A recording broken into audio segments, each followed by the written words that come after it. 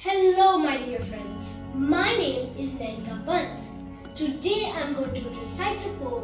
The name of the poem is Little Things.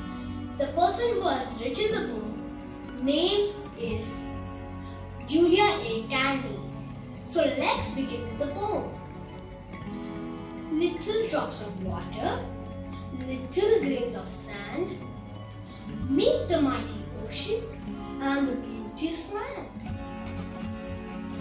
The little moments, humble though they be, make the mighty ages of eternity. Little deeds of kindness, little words of love, make our earth happy like the heaven above. Thank you. Have a nice day.